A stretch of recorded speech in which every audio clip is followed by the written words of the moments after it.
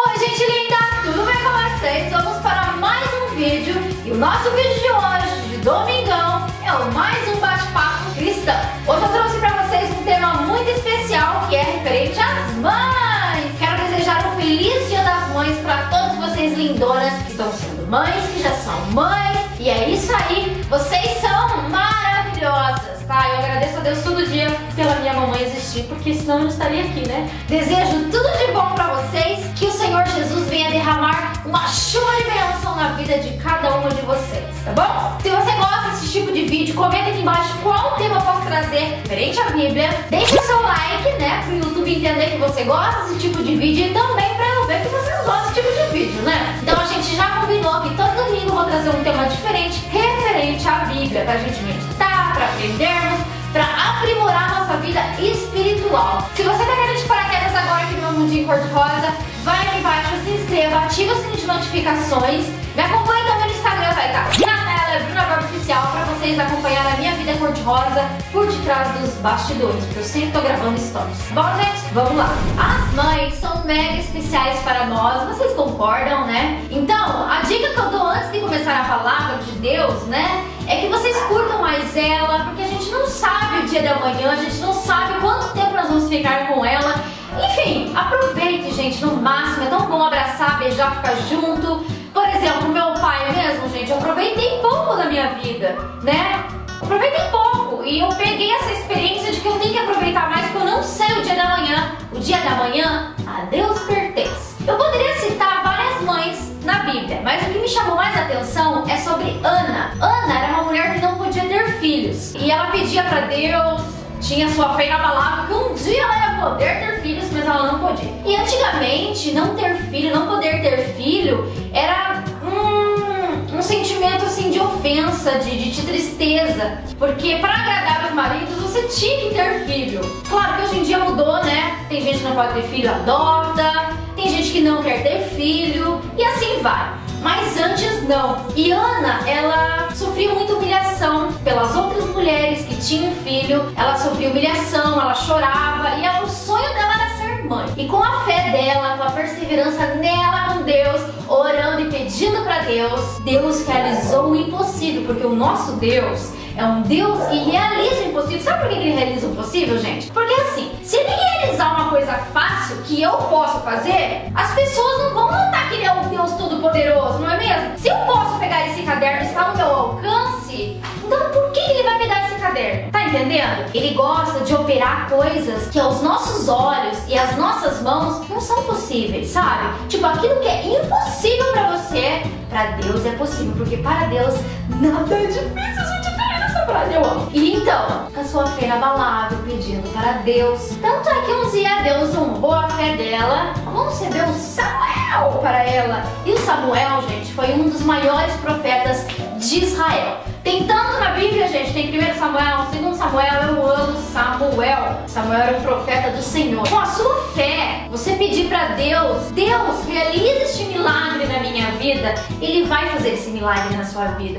Porque a fé move montanhas, gente. Um pedacinho, se tiver de fé, você confiar, Ele vai realizar. Mas aí tem dois detalhes que eu quero entrar no assunto que vai envolver aqui, gente. O primeiro é você perseverar em Deus Deus, eu continuar confiando, mesmo que as coisas ainda não aconteçam, eu continuar orando, confiando que aquilo vai acontecer, tá? Eu tenho fé e tenho a perseverança, eu não vou desistir daquilo. E a segunda coisa, gente, é no tempo de Deus. Então, assim, tem certas situações em nossas vidas que é difícil nós entendermos, mas é no momento de Deus, é no tempo de Deus porque o tempo dele é perfeito, agradável e não dá erro, gente. Então dele. Se ainda não aconteceu na sua vida, seja, sei lá, ter um filho, por exemplo, ou qualquer outra coisa que é impossível para você, tenha fé, espere no tempo de Deus e ele vai realizar. Então aqui, gente, a mensagem que eu quero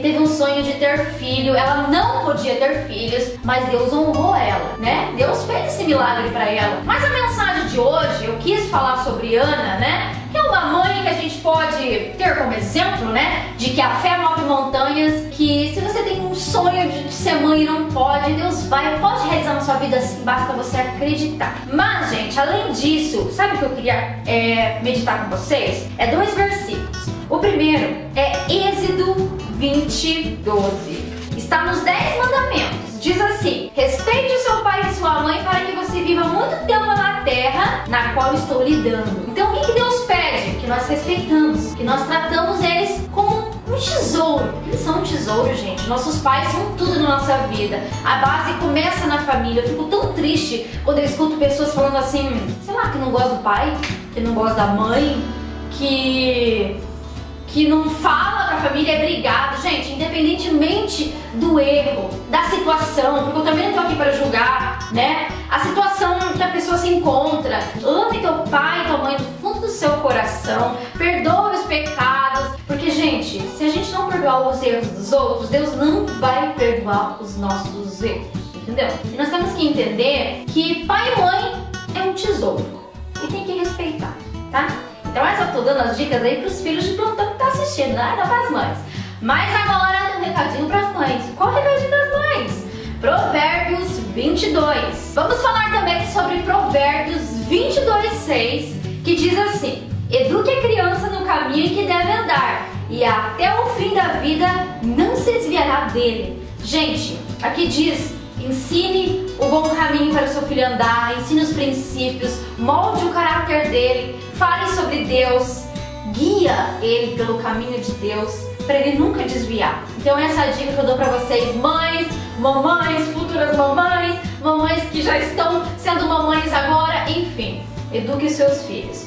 Gente, mais uma coisa também que eu quero falar é que hoje em dia, claro que é que a Bíblia diz para nós respeitarmos os mais velhos, né? Os anciões, os pais, a mãe, o pai, a mãe, os pais, enfim. Que nós temos que respeitar sim, temos que ter respeito, né, gente? O respeito é a base de tudo. Quem não tem respeito, né, tipo, tem que ter o respeito. Mas aqui eu quero dizer também para os pais terem respeitos com os filhos. Eu sei que o pai tem que ter autoridade, a mãe tem que ter autoridade, tem que ter, tem que educar, tem que ser mais firme quando tem que ser, mas também tem que ter respeito, né? Porque hoje em dia a gente vê uma falta de respeito de um para com o outro, gente, é muito feio. Vamos parar com isso, vamos trazer mais amor, vamos valorizar aquilo que a gente tem em casa, que a mãe é tão preciosa, gente. Gerar você, gerar alguém. É, é muito precioso isso. Então vamos valorizar quem a gente ama, vamos valorizar as nossas famílias, porque Deus nos colocou na família certa. Basta você olhar com os olhos de Deus